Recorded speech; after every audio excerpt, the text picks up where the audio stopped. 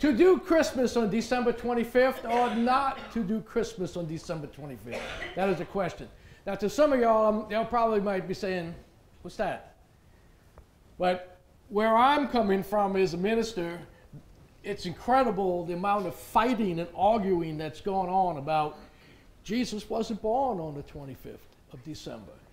And it's amazing how the enemy will have the church all divided on this particular day when the unsaved of the world, they're, they're fine with it. You know, it's amazing. I want to talk to you just about a few things about Christmas that um, I find and, and, feel in my own heart that's very important, and we're going to see that in just a minute. But was Jesus born on the 25th of December? No, I don't think he was. But there is no definitive date in the Bible of when he was born. There's a lot of things that took place that they can start looking at. But one of the things that I think um, we need to, if we're going to understand when he was really born, I personally believe he was born on the Feast of Trumpets. Now, there are seven feasts, four of them in the spring, and they were already fulfilled in Christ with his death on the cross and his resurrection and the first fruits and so forth. And Pentecost, the outpouring of the Spirit. But there's three more that come up in the fall. And in those fall, which are yet to be fulfilled in their entirety, they actually have already been fulfilled spiritually. And so this is why I believe he was born on the Feast of Trumpets. December 25th sounds like a good date to me, even though I believe it was on the Feast of Trumpets. But you don't ever hear me preaching or coming against the fact that it's December 25th. You're going to find out in just a minute why it's a good thing for us to stop arguing about that, right? That we need to stop debating this because the enemy's got the church, the church, at odds about what date was he born on. And that's just crazy. So I want to talk to you this morning just briefly about some things. Uh, number one here is about Rosh Hashanah. Rosh Hashanah, something like that is pronounced, but anyway, it's the Jewish New Year. Now, here's the deal about the Feast of Trumpets, I believe he was born on. It really, it really, the actual date of the Feast of Trumpets, which is a one day deal, and they, some say it's a two day, but it's on a certain day. Now, that day is always moves on the calendar. If you got a calendar that has some Jewish um, holidays, you're going to see that every year it moves. It could be the end of September sometimes, and it could be the beginning of October. Because the Jews have like three New Years and the one of them is a is is the one that involves the feast of trumpets and all. And that New Year starts when the priests see a sliver of the moon. And on that day that they see this, the tiniest little sliver of the moon is when that year starts. And that is the Feast of Trumpets. And it's and it's it's the trumpet blast sounding the new year or change of the old year out and the new year in. And that's why I believe it was the Feast of Trumpets because of what that feast stands for. It stands for the celebration of out with the old and in with the new, right? And Jesus Christ came to do a whole new thing.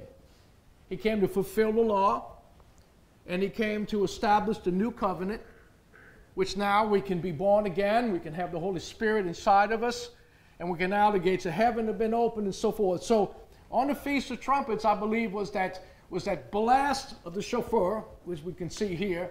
It's also called the Feast of Trumpets. The feast begins the Jewish high holy days and 10 days of repentance, or 10 days of awe, with the blowing of the ram's horn, the shofar calling God's people to repent from their sins. Now, it's a 10 day deal.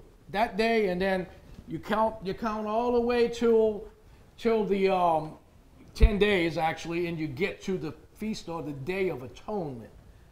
And so you have this 10 day period that's called the 10 days of awe. And 10 days in the Jewish faith has to do with a, a time frame until something begins to happen. So what you have is Jesus being seen for 40 days, and then he ascended. And he told them to wait for the promise of the Father. So they waited in that upper room for 10 days. What were they doing in that 10 days, that 120 people in upper room?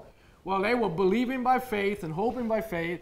Um, they, were, they were meditating, they were in agreement, they were praying in the temple, and they were making themselves ready for the outpouring of the Holy Spirit, which took place 10 days after his ascension. So you got this 10 days of all before you come to the day of atonement, which is the sacrifice. Now, on this day is when the priest, the high priest, would go into the Holy of Holies where the Ark of the Covenant was.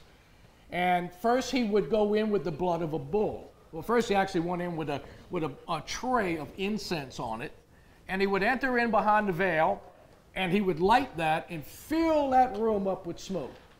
Because if he didn't do it with the, with the incense, the sweet smell of that, he would have died. So he filled the room up, then he left the Holy Holies, and he went out and they sacrificed a bull, and he took the blood of that bull and he went back in. Now, some say, in some readings, if you want to study it, they say that they killed the bull and the goat, and he went in with the blood of both. But in some teachings, it says that he went out, got the blood of the bull, he went in, went to the mercy seat, and he sprinkled that on the mercy seat, which is a peace offering before God. Then he went back out, and they killed two, well, they killed one goat, and the other goat was they laid their hands on with sin and released them into the wilderness, which re- pretty much represents us. Both of them are Christ, but it represents how we all we all have escaped from the judgment of sin. And the other goat was was killed, and then he went in with the blood of that goat, and he did the same thing with the bull. He sprinkled the blood on the mercy seat. That's what they did once a year. Now, some say he had these bells, which he did have bells on the bottom of his garment, and that when God received that sacrifice, he would then ring those bells and the place would kick in with rejoicing. So, the, all the people were quiet out there waiting to see if God would receive that. Some said they had a rope tied to his ankle because if he didn't receive it, the priest was dead, and they drag him out from under the, under the curtain. And then others say, there's nothing about that anywhere. So I don't know. You know, there's so much, there's a lot of Jewish uh, teachings involved in it. But anyway, the Feast of Atonement or the Day of Atonement took place. That represented, you got Christ's birth, then you got these 10 days, which then, it was more than 10 days. It was from the time of his birth to his death. He was 30, about 33 years old, so there's a lot of time there. But that 10 is a symbol and a picture of something about to happen, something that was going to change everything, and it was the sacrifice, once and for all. They never needed to do kill another bull or another ram or another goat, another lamb. It didn't have to kill anymore. The sacrifice was complete in Christ. And so you got this picture is what you got. His birth, 10 days, which is the length of time all the way to the cross. And then in that, completely changed. Everybody was under the law. Then he died. There's a five day period in there. We know he was three days, but then there's a five day period to the Feast of Tabernacles. And in that five days, which is a special number in the Jewish um, uh, realm, they got a lot of special numbers. But in that is a fulfillment. And when the fulfillment of time, then came, then came Christ rising from the dead, and then began to tabernacle among us. But it was another thing about it, too. The Feast of Tabernacles, which was on the 15th of Tezra, believe how you say that, the Feast of Tabernacles is the most joyous of all the fall fest feasts. It is one of three biblical pilgrim feasts when Jewish males, because they brought their families, were directed to appear before the Lord. This meant the people traveled to Jerusalem to build and dwell in their booths. They actually, um, when, they were, when they came out of Egypt, when Moses brought them out of Egypt, they tabernacled in the wilderness on the shelters. And this is a re, kind of a reenactment of it. It was all spiritual, had a meaning behind it. And God walked among them as they tabernacled. And the Lord came in his body. Some say he was born on the Feast of Tabernacles because God is tabernacled among the people in his tent, in his body. That you and I live in a body, he was living in a body also. But actually, what takes place on this day is the ingathering. And, and they're gathered, all the men come to Jerusalem. And they come with joy and excitement, resurrection, and, it, and it, everything that comes with that resurrection. And so they reenacted this thing every year, every year, every year. And it was fulfilled in Christ when he rose from the dead. He ascended into heaven, put his blood on the mercy seat in heaven. Amen? Amen. Anybody understand what I'm saying? I hope, you know. And uh, it's, it's, in the Bible. The seven festivals are described in the Bible. Talk about how long they got to go on, how many animals they had to kill, and on and on it went. And so that's why I believe that Jesus Christ was born to Feast Trumpets. Now, you see, you, you basically can't nail it down to any particular day because it's actually the first day of the new year. But on our calendar, it could be September uh, 27, 28, 29, 30th. It could be beginning of October when they see that sliver of moon. So it's always moving, you know. And I think God did that for a reason, if that was the case. I think he did it for a reason. You know why? Because we celebrate his birth on the 25th of December. But actually, we as Christians, we always are celebrating his birth, his death, and his resurrection. And so, even though it's, it's been nailed down, now, some I was talking to a young man, and he's on fire for the Lord, and he was looking up some stuff, and he and he got and we got talking, and he got me on the side, and, and he said, "Man," he said, um, you know, I heard that Christmas is modeled after some pagan thing. And I said, look, look, I know that. And just about all the stuff from the Catholic Church, I'm not putting down the Catholic, I'm just saying, when Constantine, what they did was, they took a lot of dates that people were worshiping false gods and all, and began to transfer them over to Mary and saints, and, and of course, Christmas Day. It's actually having to do with the sun god. And, uh, and I said, you know, but let me tell you something. I said, here's where we got to be as Christians. We have to be very, very careful about how we handle this. There was a time in my life when I first started reading and discovering the same stuff that he was, that he was pretty much talking to me about. And I, um, and I started to think, you know what I'm going to do? I'm going to start having Christmas uh, my Christmas with my family on the Feast of Trumpets. But the Lord checked me on that, and I never did do that. And I'm going to show you a few reasons. There's three reasons why we should not fight it. We shouldn't press in against this. You know, and, and I'm having this thought in my mind that it's not the world out there that's having a problem. It's us. And the world sees this. You know, I, I, um, I watched a video a couple of weeks ago and uh, on YouTube, and it says in, in this, the, the man that did it, and he said, Stop bashing Christmas. And he talked about reasons why, and I watched it. It was about a 10 minute video. And I found it very interesting, and everything he said was my viewpoint also. And so I definitely agreed with it about tradition and so forth. And uh, he talked about whether people want to put a tree up or not, or, or uh, we used a tree and used the stars. It was the star that guided the wise. We turned it into something holy for our children, and we're doing it for our grandkids. Because Christmas is in our face. And when you start attacking it and you start trying to change things, you're going to breed confusion. But a couple of weeks ago, after I watched that video, my, my grandson sitting in the back was had their Christmas concert at Chalmette High. He played a solo, which we're trying to get him to do here, but he's telling me no. he played Silent Night on a grand piano in front of two audiences Thursday night and Friday night. So we were there on Thursday night, Julie and I. We're sitting on about the second row, so we're looking up at everybody. And, uh, and the choir came out. They had different things that they did. One of them was they had this choir. It was made up of about 30 to 40 kids. I counted 34, and then they moved, so I think it was more than that. But they had at least 34 kids. And they were singing about Jesus. They were singing about the Christ, our Savior, on the, in the song. It's a Christmas song. And I was sitting there listening to them, and I was being overwhelmed because the song has great meaning to me as a Christian. But I thought as I sat there, how many of those kids go to church? Parents bring them to church. They even know whom they're singing about.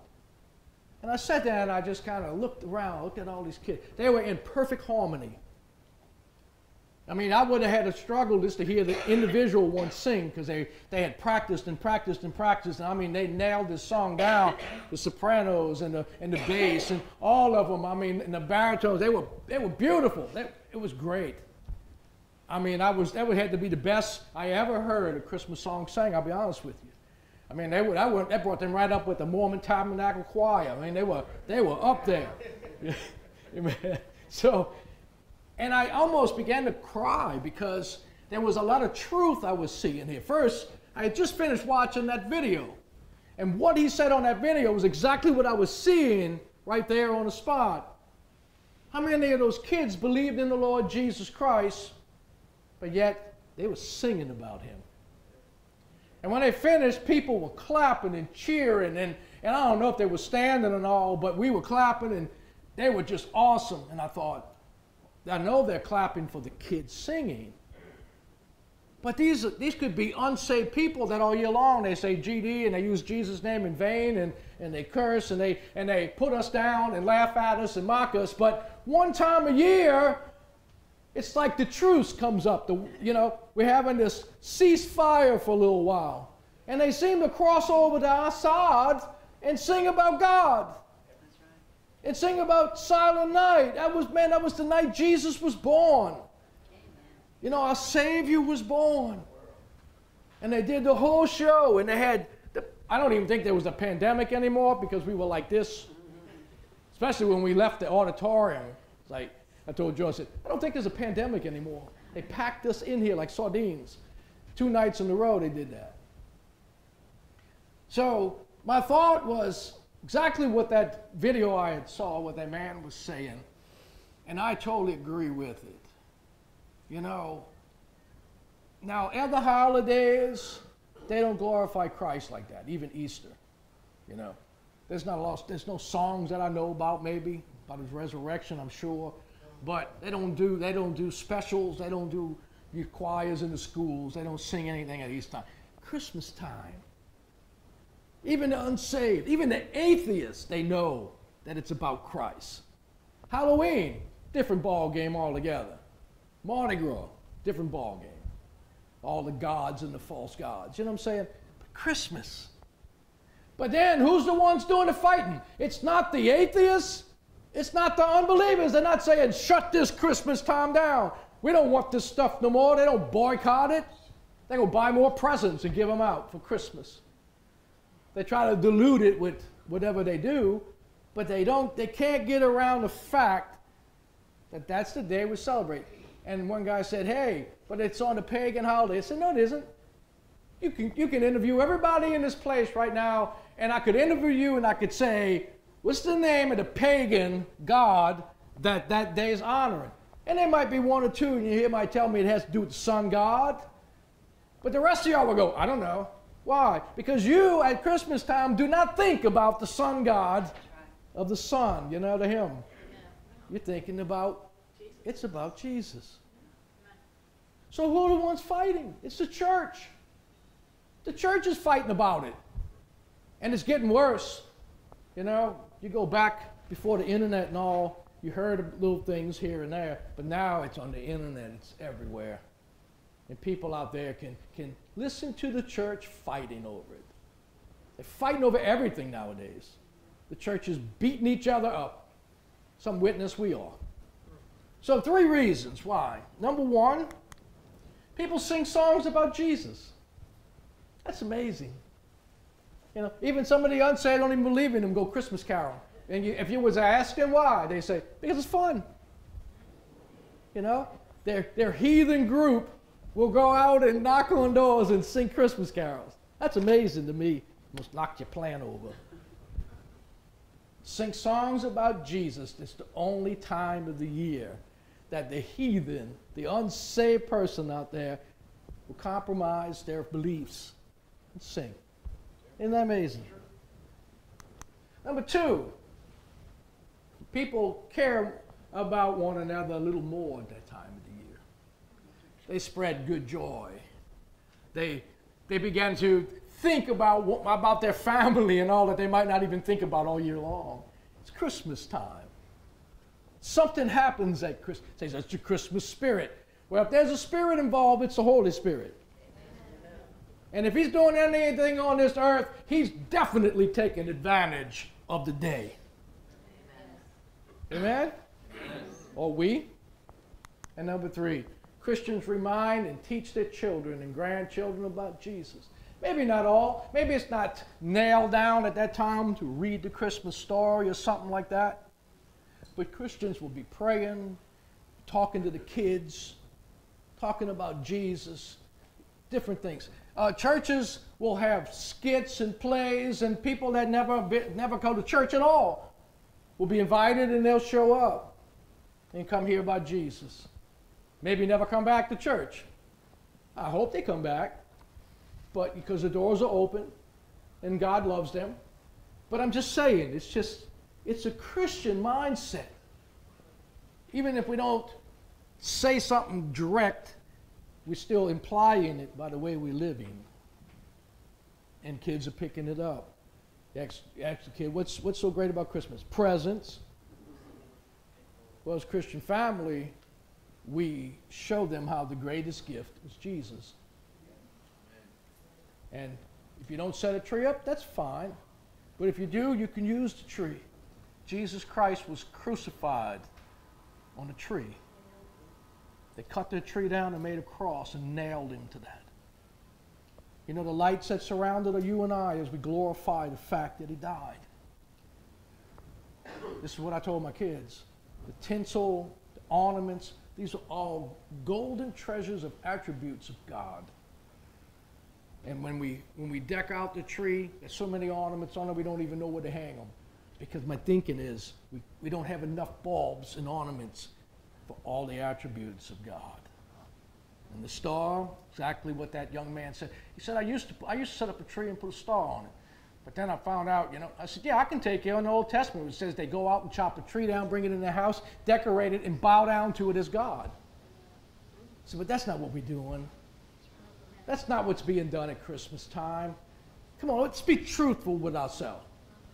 We enjoy in the season lights, tinsel, all this stuff. It's just a, a, a, light flickering in the darkness, or it can be something more elaborate. Depends on what you do with it. Depends on what we do with it. Depends on what we say about it and how we identify with it. Amen? Amen. What would happen if we try to change this date? What if the church rose up and said, He's not born on that date? And first off, the unsaved are going to go, then what date was he born? Because they all arguing about that. You go on the internet, you'll find every one of the festivals. That's that's when. Look, this happened. Eh, you know, and then I was like, okay, let's say it's a it's the festival, but the festival dates they don't move on their calendar, but they definitely move. So, what's the actual date on our calendar? We know it's the 25th of December. If it's the Feast of Trumpets, like I said, or atonement or tabernacles, they are on certain, exactly certain dates of their Jewish month, Tishrei, I think it is, first, 10th, I think, and then the 15th. Those three. Some even say, and this isn't even one of the main festivals, it's Hanukkah. It's celebration of lights, the, the dedication of the temple, the Feast of Hanukkah. That didn't come into being until the Maccabean brothers did a revolt and they didn't have any oil for the lamp, and for nine days, God kept the lamp lit. So that's why sometimes you see that non candle menorah instead of the seven that we normally see. It's, for, it's, uh, it's the menorah for Hanukkah, the, day, the celebration of lights. They say, well, he was born on that day. One guy said, if it's the Feast of Trumpets and you're having a problem with December 25th, it's a good chance he might have been conceived, conceived on the 25th and then was born eight months later on the Feast of Trumpets.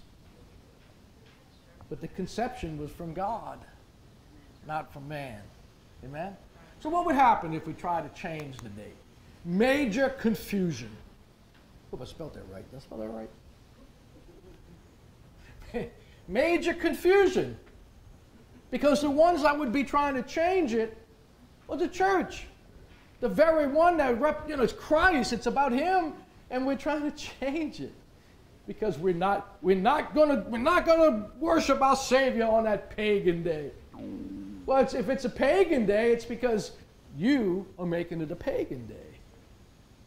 You know, it's not a pagan day to me. You know, so they're fighting about different things in the church right now, about church on Saturday. We still got to honor the Sabbath and all the other laws of the old covenant. And I, it just makes me upset because Sabbath is a day of rest. Hebrews 4 says there still remains a rest for the people of God. Had Joshua give the true rest, then why is there still another rest? But Jesus gave the true rest. So it's no longer a day every day. I don't rest on one day. I'm at rest in the Lord every day. Amen. So there's no more days. Jesus eliminated it. It's the day of the Lord. The resurrection of the Lord Jesus Christ is where I live, and that true. Why are we fighting over this stuff?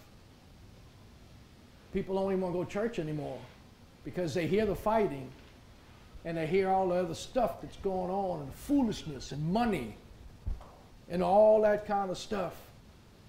And so people are pulling away. And I mean, you can go read it yourself, the statistics. They're pulling away. The numbers of evangelicals are falling. People are leaving the churches. Why? Because they're just tired of it. They're tired of them constantly wanting money out of them. They're tired of the bashing of the other ministries. They're tired of the tearing down. They're tired of the laws. When the Lord, Lord saved me, He broke the chains of legalism and set me free. But the church has been trying to bring me back under some laws. Sometimes they're not even biblical laws. They're just, they're just assembly of God law that we are. So I tolerate. There's nowhere, anywhere you go, you're not going to find a perfect church anyway. So we tolerate. Number two, it just would never happen. You'd be fighting until the Lord comes. It's not going to change. Or you're going to wind up having two Christmases, or three or four, or ten. Because if we nail it down to the Feast of Trumpets, which then we move it every time, every year, then some other group is going to say, no, he was born on tabernacle, so now we're going to have another Christmas. That's ridiculous. Amen. Doesn't matter to me what day it is. 25th sounds pretty good to me. So I'm going to take advantage of the situation. Take advantage of it's Christmas. Let's talk about Jesus. Let's have peace on earth and peace in our relationship. Let's love one another. That's what Christ came to do bring love. Number three, nobody would care. You know who? The only ones that would care would be those church people. The world's going to do it on December 25th. They're going to continue to do what they're doing, and the light of the gospel is going to be diminished because the ones that should be worshiping on that day are fighting and they're out of, they're out of the picture. So, anyway, that's the last point I got. How you like that? It's almost, almost 12 anyway.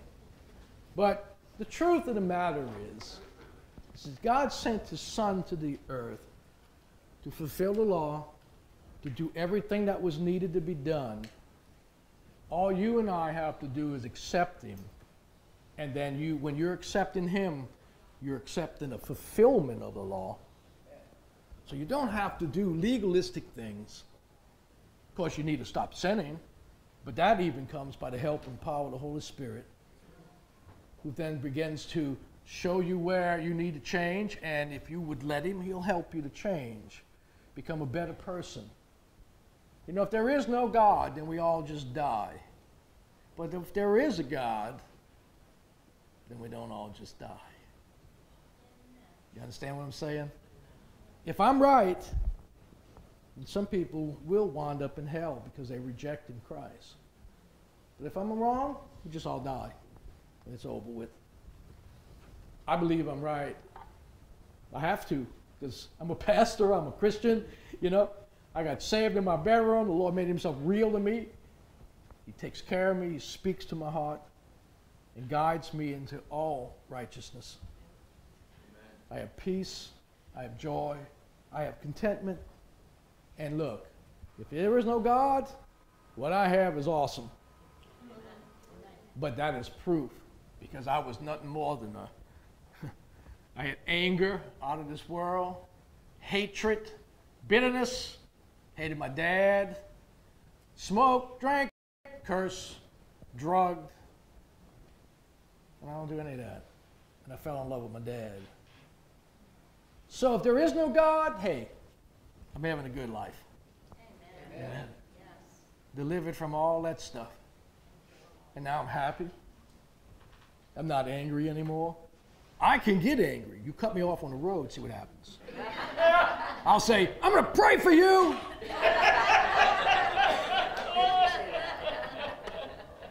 what else can I say? I don't curse anymore. So I just got to pray for them because they don't know what they're doing. Amen. Stand on your feet, please, and let's close out in prayer. Father, we love you and we thank you for this wonderful day. And I just pray that everybody in here and, and out there in the church world will get on the same page. Let's take advantage of the situation. Let's love one another. Let's identify with Christ so the world might see that we love one another and they will know that we are your disciples. Father, we pray that all the fighting and all the trash will just be thrown out. We'll understand who's stirring things up, and it definitely is not God. Because God made it to where we really don't know the birth date. So there have to be, has to be a reason why you've done that, Lord. And that's because every day we need to celebrate. Celebrate the birth of Christ. So, Father, we give you all the praise this morning. All the glory and honor belongs to you. In Jesus' name, amen. amen. Merry Christmas.